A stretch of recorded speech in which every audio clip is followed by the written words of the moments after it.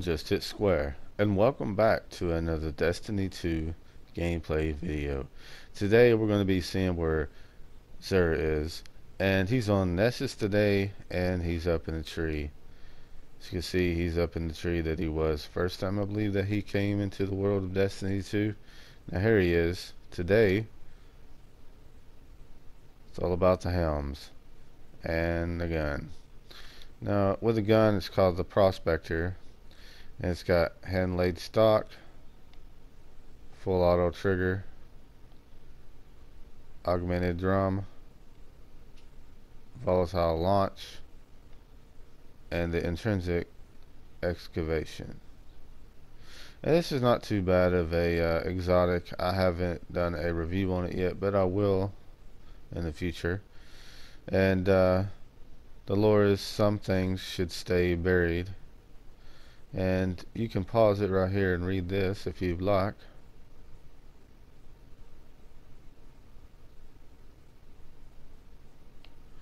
And you can see the rounds per minute is 165 the magazine is 8 and you can see the velocity isn't too bad on it. Stability handling is okay but the reload is really low. The blast radius isn't that great as well.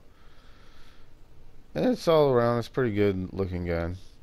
That'll set you back 29 legendary shards now here is a uh, exotic helmet for the hunter Foetracer. Now I use this on my uh, hunter for uh, my solar build. And it says I see you. You can either increase your resilience or your recovery. Your intrinsic is relentless tracker visually marks targeted enemies deals more damage to low marked enemies. This works very well.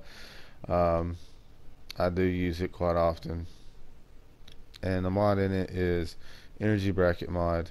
Improves weapon handling for equipped energy weapon. And uh, mobility resilience like I said here is the lore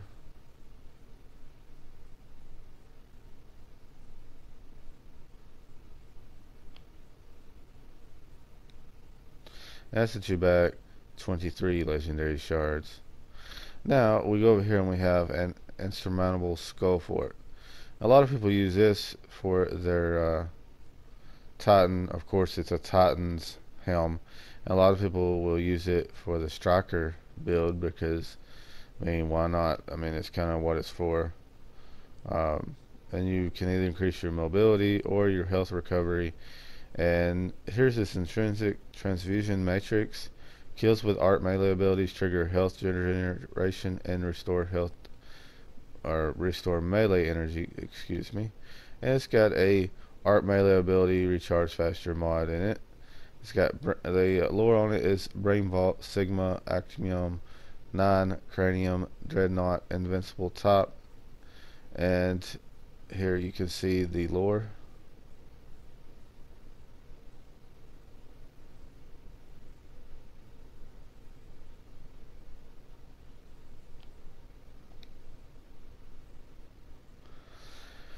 And we got Eye of Another World. I use this as well on my uh, Warlock, which I'm on right now. I use this for my uh, Void build. And uh, Eye of Another World. And of course, this one will be 23 strange or legendary strange coins. 23 legendary shards. And the Eye of Another World says, When the universe conspires, its enemies cannot hide and you can either increase mobility or recovery. And its intrinsic is highlights priority targets and improves the regeneration speed of your grenade melee and rift abilities. And its uh, mod is impact absorption mod. Increases disarmer's resilience allowing you to absorb more damage. And here's the lore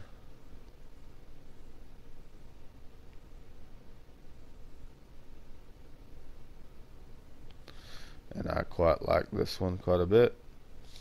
And that'll be 23 legendary shards as well. And we've waited several weeks well I have for him to bring the legs that I'm needing on my uh, Titan. He just hasn't. I believe they're called Dunemarchers or something like that. I can't seem to get them to drop. Uh, I just I don't know if I'm ever going to get them, but anyways, guys, hopefully you did enjoy the video. If you did, give it a thumbs up. And if you're new to the channel, consider subscribing. And if you do subscribe, click on the little bell alert, click on notifications. This has been Xur's restock video, and uh, I'll see you next time.